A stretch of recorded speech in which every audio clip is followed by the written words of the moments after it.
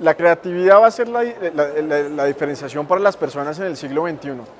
Esa es la habilidad que más están buscando los presidentes de todas las compañías, que están buscando en el gobierno, que están buscando en los mejores, los mejores centros de investigación y las universidades. Y hay un mito en que la gente es creativa o no es creativa. Y lo que quiero desarrollar con mi charla es que si uno aprende siempre ciertas técnicas de pensamiento, como aprender a, asociar ideas que parecerían que no tienen relación, pero que sí pueden generar ideas innovadoras, si uno aprende ese tipo de hábitos, uno puede desarrollar la creatividad y convertirse en una persona sumamente creativa.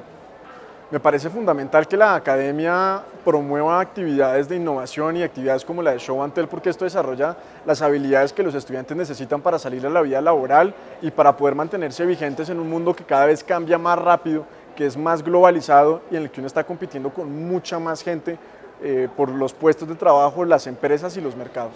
Bueno, los invitamos eh, al show Anteo. De verdad que los presentadores que, que, han traído son gente excepcional. Estamos seguros que las charlas les van a gustar mucho, que van a despertar mucha curiosidad en ustedes y ojalá nos acompañen y hagan parte de este gran evento con nosotros.